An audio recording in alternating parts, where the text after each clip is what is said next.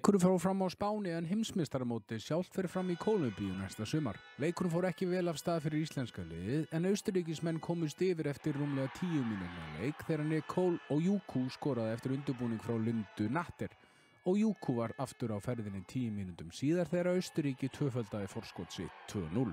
Nokkurum mínúndum fyrir lok fyrirhálegs mittist Vigdís Lilja Kristjánsdóttir nokkuð alvarlega og þurfti að fara að velli með börum.